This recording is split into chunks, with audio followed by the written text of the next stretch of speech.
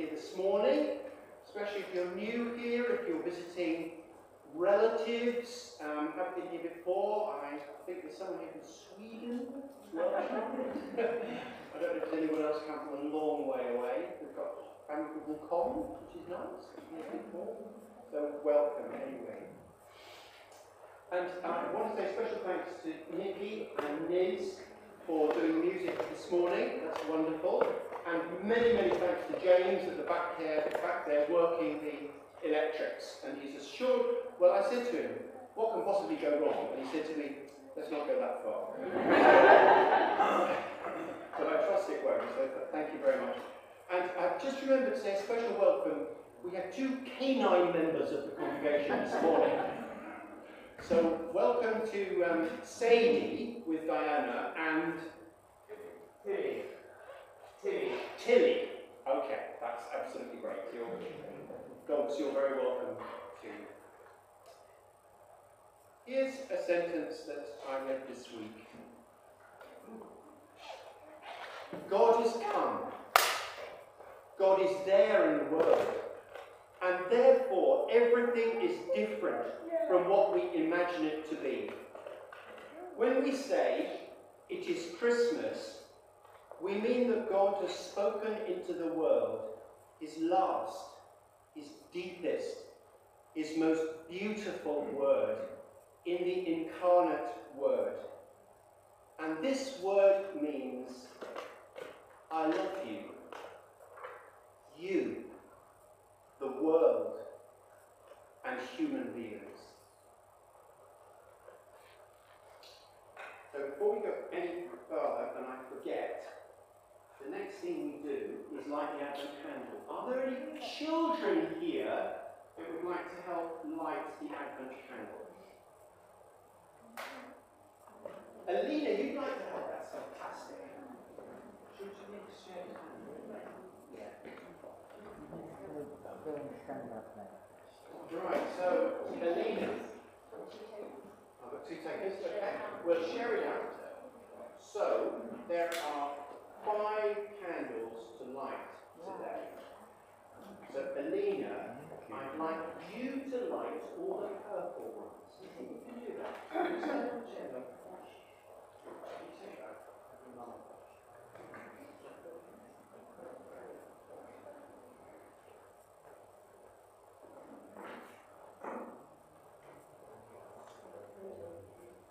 Number three. Okay, that's fine. We can do that. Okay, so you look for those three. Alright, so that's great. Aline, thank you very much. Dennis, is that right? Yeah, okay, come sit up here, Dennis. No, don't worry, I've not forgotten you. I've not forgotten you. Glenys, I'd like you to light that pink candle.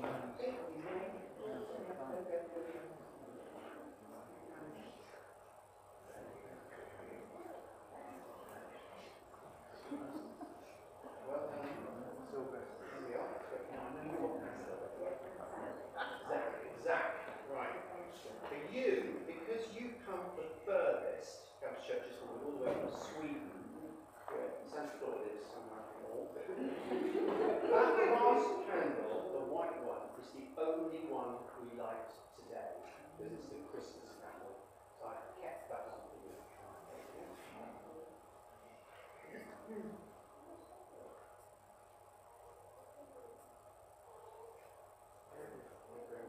Round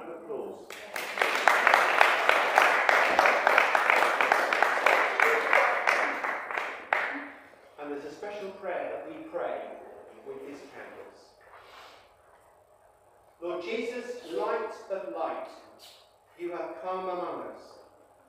Help us who live by your light to shine as lights in your world. Glory to God in the highest. Amen. Amen. Amen. So thank you for that. I'll let you three little of candles. And we take a, a moment um, to pause and uh, confess to God. And I read a couple of weeks ago that a, a new definition of sin for me. Sin is when we don't let God be God.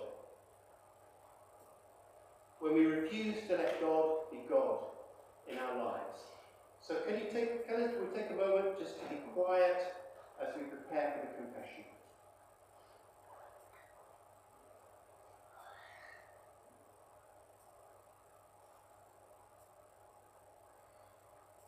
Hear the words of the angel to Joseph. You shall call his name Jesus, for he will save his people from their sins. Therefore, let us seek the forgiveness of God through Jesus, the Saviour of the world. And we say together on the next slide Almighty God, our Heavenly Father, we have sinned against you and against our neighbour, in thought and word and deed, through negligence, through weakness, through our own deliberate fault. We are truly sorry and repent of all our sins. For the sake of your Son, Jesus Christ, who died for us, forgive us all that is past, and grant that we may serve you in newness of life, to the glory of your name. Amen.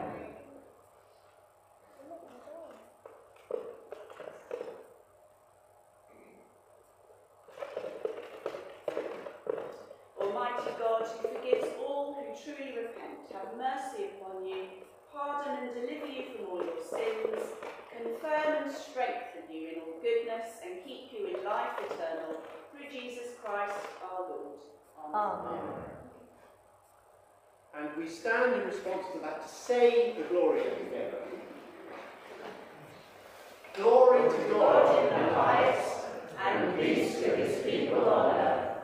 Lord God, heavenly King, almighty God and Father, we worship you, we give you thanks, we praise you for your glory.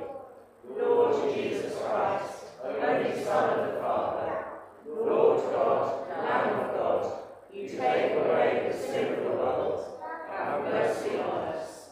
You are seated at the right hand of the Father.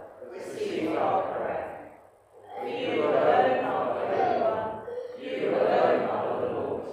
You alone are the Most High, Jesus Christ, with the Holy Spirit, in the glory of God the Father. Amen. And the collect for today, Christmas Day. Almighty God, you have given us your only begotten Son to take our nature upon him, and at this time to be born of a pure virgin. Grant that we, who have been born again and made your children by adoption and grace, may daily be renewed by your Holy Spirit through Jesus Christ, your Son, our Lord, who is alive and reigns with you in the unity of the Holy Spirit, one God, now and forever. Amen. These six for our Old Testament reading.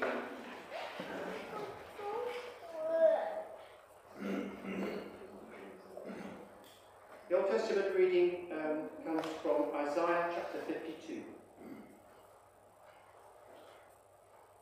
How beautiful upon the mountains are the feet of the messenger who announces peace, who brings good news, who announces salvation, who says to Zion, Your God reigns. Listen, your sentinels lift up their voices. Together they sing for joy, for in plain sight they see the return of the Lord to Zion. Break forth together into singing, you ruins of Jerusalem. For the Lord has comforted his people. He has redeemed Jerusalem.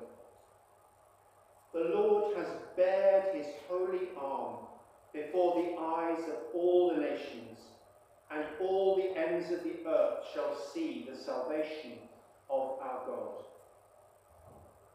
This is the word of the Lord. And thanks be to God. And we stand to sing.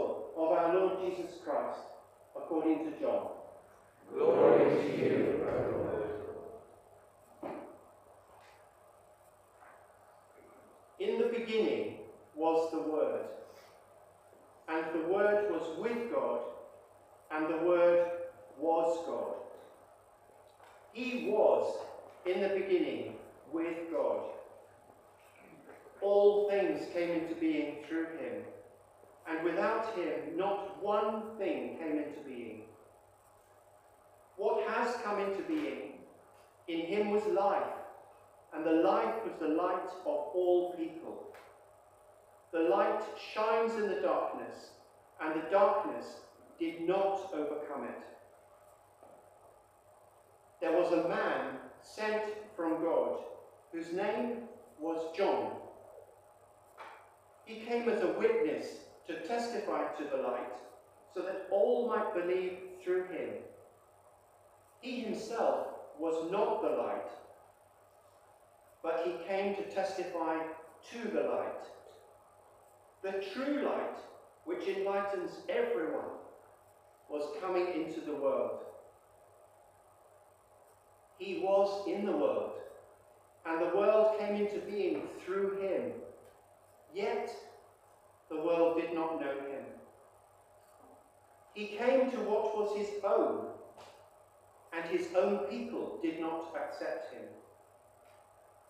But to all who received him, who believed in his name, he gave power to become children of God, who were born not of blood, or the will of the flesh, or of the will of man, but of God. And the Word became flesh and lived among us, and we have seen his glory, the glory as of a Father's only Son, full of grace and truth. This is the gospel of the Lord. Praise to you, O Christ. Do sit down.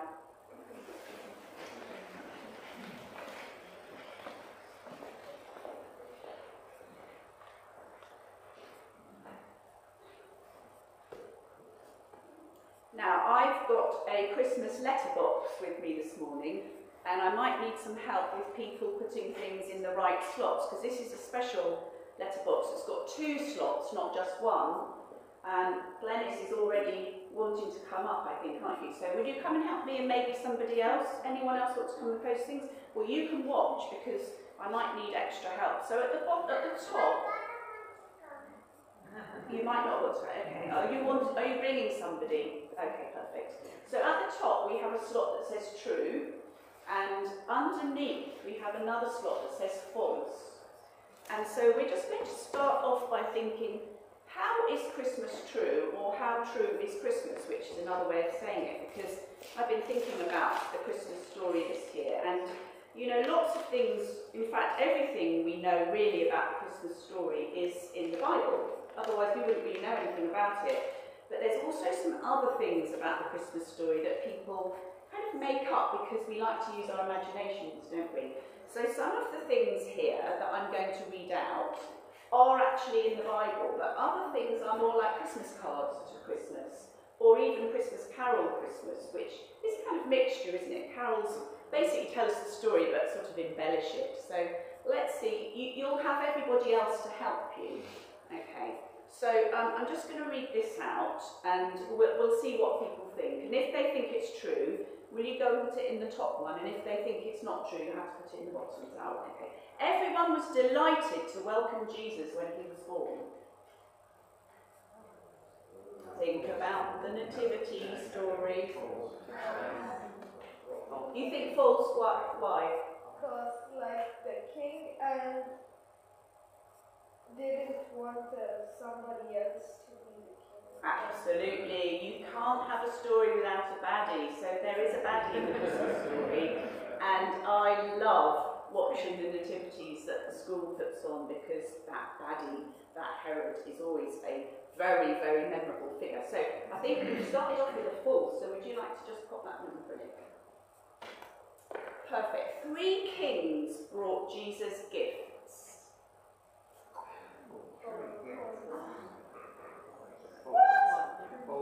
Half of my Christmas cards show three kings bringing gifts. What's going on? Yeah, there are they're actually wise men, not kings. They're actually wise men, not kings, Chris Mernier, with your crown on. My Christmas is just falling apart. wise men, magi. It's a bit more interesting, I think, false. You can put it in the, in the bottom. Warming up to this. Jesus was born in a stable.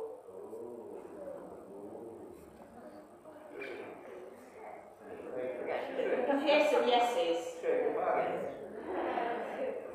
You think stable is a Bible word, yes? Or... Ooh, thank you. It was a manger that he was laid in. So, yeah. What do you think? Okay, we'll have it as true then. I, I, I'm, I'm slightly persuaded, not whole,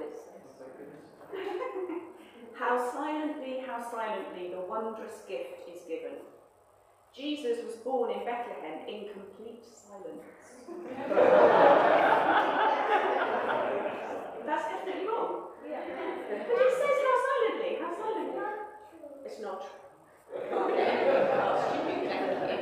right, okay. Gosh, have we got anything that's true yet? Oh, it's there, yeah. Even the angels worship Jesus.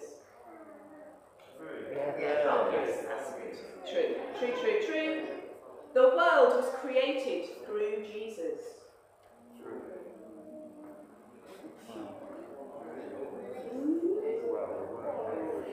The world was created through Jesus. Yes, it actually true. It actually says that in the gospel reading that we had, basically. The mother of Jesus is missing from our readings this morning. Yeah. True. She was she was missing. She was obviously implied everywhere, but actually not named and was slightly missing this morning. God is male. He's English as well. I am not convinced myself. That's so contentious, I'm going to leave it on. In church, we think about the wise men from the east at Christmas time. What? I- I'm with Glenys. If you want to be specific about your liturgical seasons, you think about the wise men at Bethlehem. In fact, that is not true. And there's only one more. In the bleak midwinter, frosty wind made moan. Earth stood hard as iron, water like a stone. Snow had fallen, snow on snow, snow on snow. In the bleak midwinter long ago, Jesus was born on a snowy day. What do you reckon? Depends where you are. That's very funny, says Glenys. Uh, it's false. Sadly, Christina Rossetti, it is false. Thank you. Thank you very much. Things can be true on a much deeper sense than true false. So that was a bit of a game. Um, I don't think it's a very clever way of approaching the Christmas story. Today, people are looking for a life that is true because it's full of meaning, for a life that actually works. And that is true for them because it makes sense in their actual lived experience. And all the more so, I think, since we entered a pandemic, people are thinking, what is important for me? What is, if you like, true? I learnt a new word this year, and I'm going to spend just two minutes sharing my excitement about this word, which is the word hesed. Or if you know how to speak Hebrew, hesed.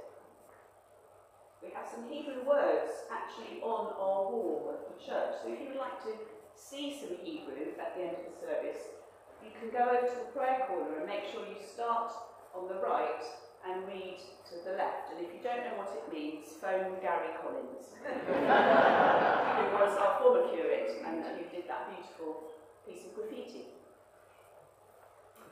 Hesed means loving kindness, the loving kindness of God.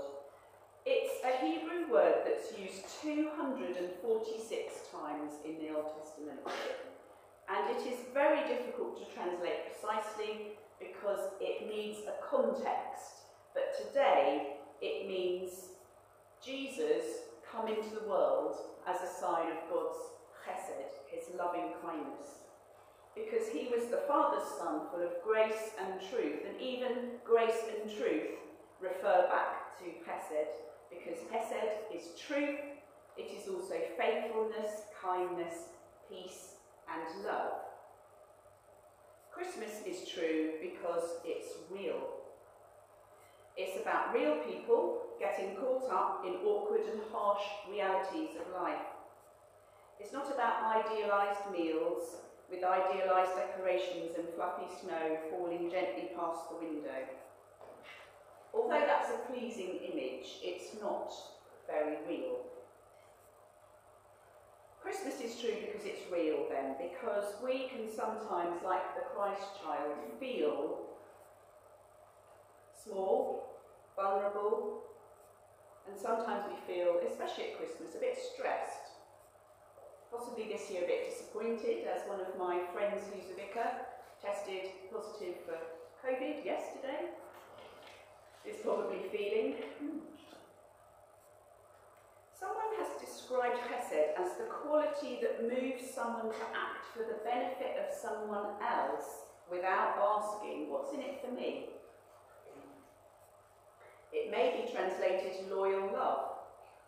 Sometimes the emphasis is on loyal and sometimes on love. It's translated by Walter Brueggemann, that great German theologian, as tenacious solidarity. Solidarity with the human race. Solidarity, perhaps, with many of our brothers and sisters who are seeking asylum at this Christmas. They know the story to be true because in the story we find weary travellers, a slightly bemused Jewish newlywed with a young pregnant wife, and both of them becoming refugees forced from their homes by violence. Christ is born into all of this and shuns none of it. He shuns no one and identifies with all our race by being born into it. And this is how Christmas is true. God's tenacious solidarity is a fact. May we know and demonstrate that tenacious solidarity, that chesed, that loving kindness in our hearts, homes and communities, today and into the new year. Amen.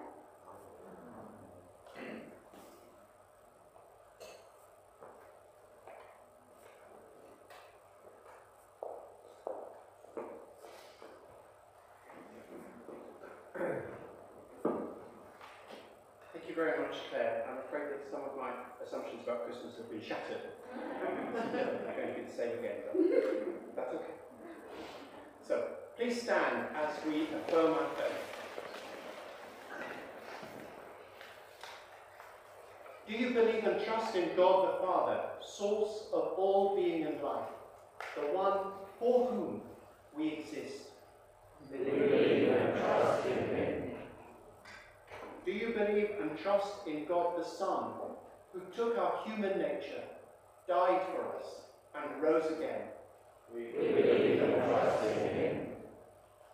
Do you believe and trust in God the Holy Spirit, who gives life to the people of God and makes Christ known in the world? We believe and trust in Him. This is the faith of the Church. This is our faith. We believe and trust in one Lord, Father, Son, and Holy Spirit. Amen. Please sit for our prayers.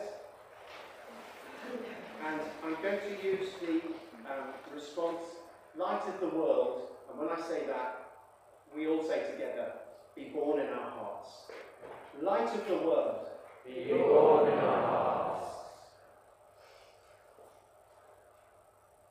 As we gather to worship the Christ child born today, let us pray trustfully to our Heavenly Father. Father, we pray for all Christians celebrating with us all over the world, in all climates, times, and seasons, as our planet turns. We think especially of any who are suffering persecution at this time. Light of the world, Be Lord in our hearts. Father, we pray all areas of darkness where your light is desperately needed to bring peace, understanding, sensitivity, and compassion. And we think especially of the um, struggles and suffering going on in Afghanistan and of all the tensions arising in the Ukraine, Ukrainian border with Russia.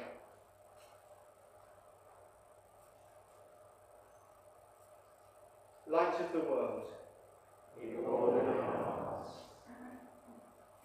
Father, we commend to you our homes, our families, neighbours and friends. We commend to you all children and young babies and all those who are being born today. We commend our school and the community of Newtown and all those living in the Hope into Action House in, here in Newtown. Light of the world.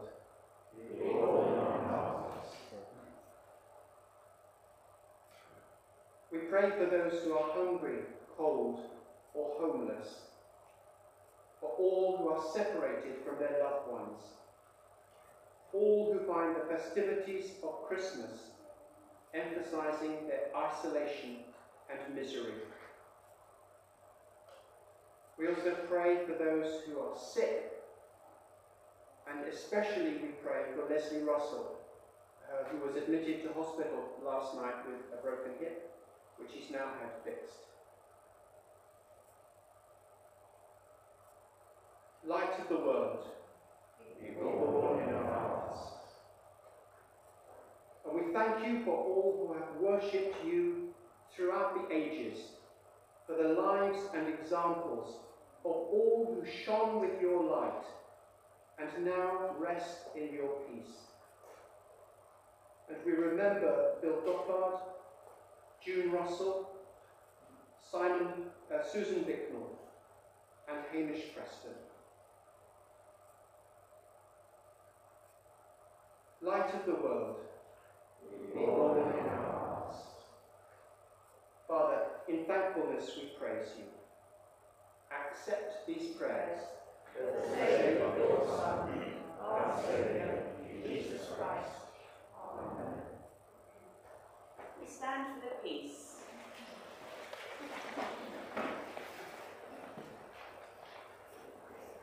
Glory to God in the highest and peace on earth to all on whom his favour rests. The peace of the Lord be always with you. And also with you. We offer one another COVID secure sign of peace. Please.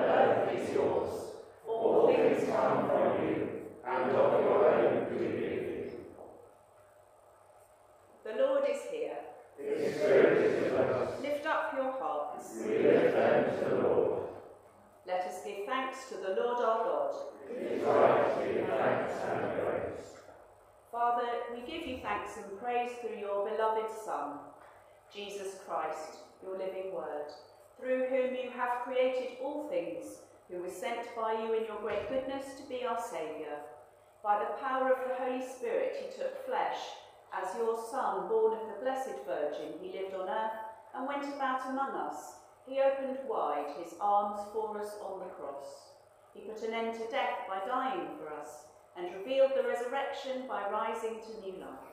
So he fulfilled your will and won for you a holy people. And now we give you thanks because he was born in the poverty of a stable to make known the riches of your kingdom. Therefore, with angels and archangels and with all the company of heaven, we proclaim your great and glorious name, forever praising you and saying, Holy, holy, holy Lord, God of power and might. Heaven and earth are full of your glory.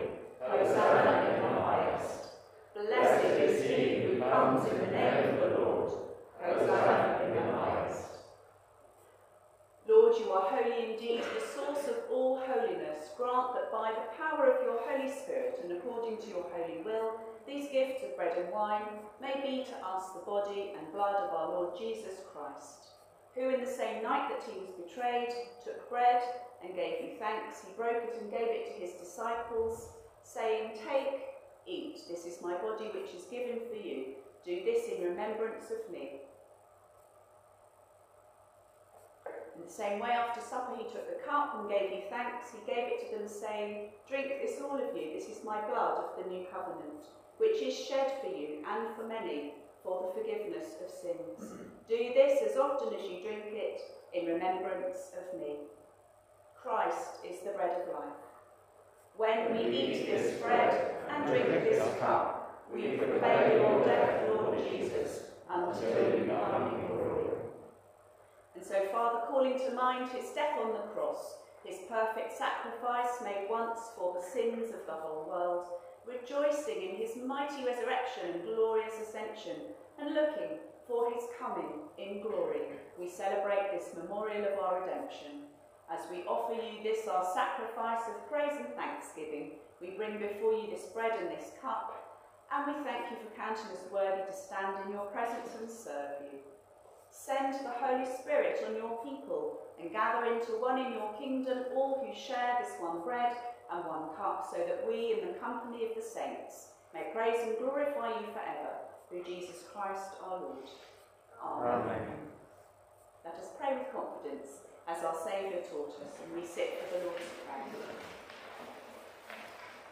Our Father in heaven, hallowed be your name. Your kingdom come, your will be done, on earth as in heaven. Give us today our daily bread, and forgive us our sins, as we forgive those who sin against us. Lead us not into temptation, but deliver us from evil. For the kingdom, the power, and the glory are yours, now and forever. Amen. We break this bread to share in the body of Christ. Though we are many, we are one body, because we all share in one bread. Jesus, Lamb of God, have mercy on us. Jesus, bearer of our sins, have mercy on us. Jesus, Redeemer All are welcome to come forward, whether it be to take the wafer and the wine, or just to receive a blessing. It's our custom to gather in circles around the mat, but we are still observing social distancing. So I invite our musicians and any helping at communion, and if you prefer gluten free, to come up first.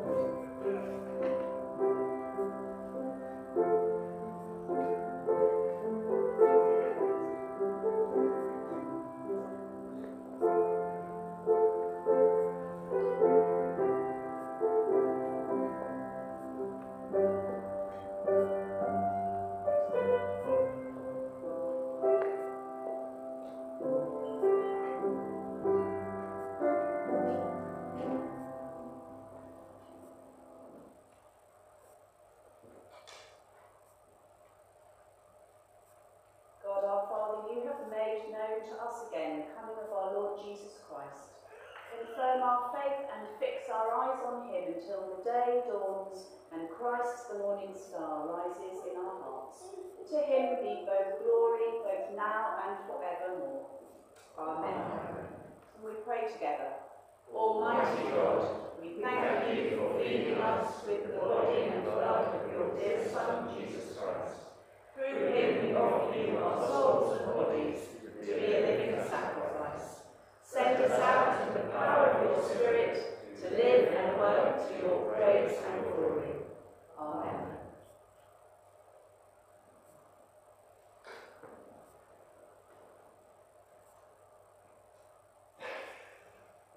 Which So one? shocked at not having very many notices. That's right, yes. Can't, can't anybody think of any more? No, don't. um, so the next service is next Sunday, um, which is going to be an all-age service. Um, that means there's no service tomorrow, despite it being Sunday. That's right, isn't it? Yeah. Are there any other notices apart from Happy Christmas? Okay, then um, we sing our final hymn.